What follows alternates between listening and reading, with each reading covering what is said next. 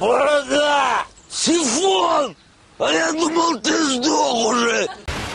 Всем привет, бабушка бой, мои рэп-хаберы! Я вернулся из долгого отпуска, где отдыхал с сочными красотками на белоснежной яхте, беря пример зарубежных рэперов. Кстати, а как ты провел лето? Хэштег на море, хэштег на даче, хэштег во дворе или хэштег в лагерях? Рассказывай в комментариях, там с каждым пообщаюсь на эту тему. А сегодня рубрика «Поясни за клип и текст». Сейчас я хочу рассказать вам о смысле клипа, снятого на новый хит от Эйсапа Рокки, который называется «Бабушка Бой». Ставь лайк и мы начинаем. RapHub – это как тот хаб, только круче. Давайте мы сначала вспомним, откуда вообще взялся термин «Babushka Boi». Однажды A$AP Rocky упал с самоката и получил ранение лица и прикрылся платком. Позже он повторил эту фишку и потом пошло-поехало. Эту тенденцию подхватили звезды, такие как Фрэнк Оушен, Кендалл Дженнер и Хлоя Севиньи. Кстати, даже бурановские бабушки приглашают его в свою группу. Мне кажется, он бы отлично вписался. A$AP Rocky, айда к нам me бабушка, Будешь me бабушка, Вон платок у тебя уже есть. Me бабушка.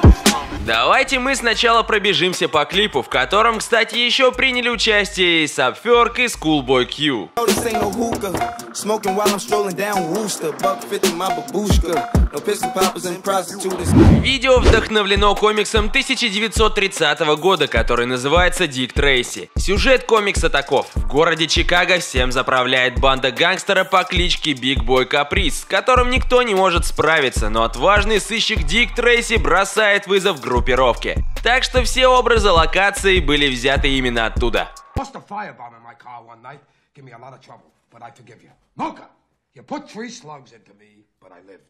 А теперь к клипу. Рокки и его друзья выступают в роли грабителей банков и бегут от группы свиных полицейских. Многие задавались вопросом, почему копы изображены в данном образе, а дело в том, что в Штатах принято называть полицейских свиньями. Если кратко пробежаться по истории, то свиньями их стали называть с 1960 года, когда уже начал зарождаться так называемый американский сленг. Это было определенно популяризировано антивоенным движением и протестами 60-х и 70-х годов. По клипу можно понять, что полицейские для банды Эйсапа Рокки вообще не сопротивление. Легавые слишком тупые и медленны в принятии решений, могут пялиться на ребята, а затем выстрелить из пистолета приколов. По сюжету банда залетает в банк и забирает деньги у женщины, которая, видимо, часто попадает в ситуации вооруженного ограбления в банках, так как она ведет себя слишком спокойно.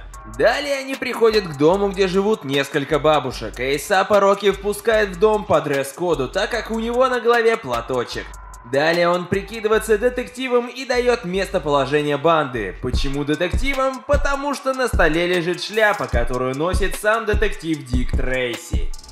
Они едут туда, где из так называемых свиней делают свежие сосиски.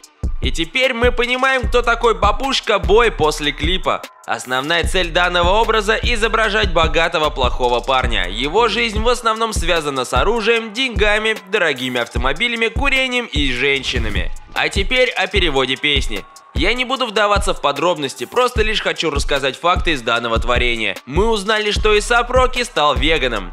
При певе песни он сравнивает себя с Тони Монтаной, который знаменит своими шрамами на лице. Если вы заметили, то уроки на клипе они тоже есть. И как обычно, он зачитал про ювелирку, про оружие, а также про то, что он любит бренд Prada. А на этом все, дорогие друзья. Надеюсь, я все правильно вам объяснил. Если где-то что-то упустил, обязательно пишите в комментарии. Вот бы наши рэперы тоже снимали гангстерские клипы с закрученным сюжетом. Кстати, а какой рэп больше нравится тебе, русский или зарубежный? Я, например, больше люблю зарубежный, хотя и среди русского можно найти иголку в стоге сена. А на этом все. Поддержи видео лайком, не забудь про подписку. Увидимся на этой неделе, ведь я готовлю настоящую пушку для вас. До скорых встреч!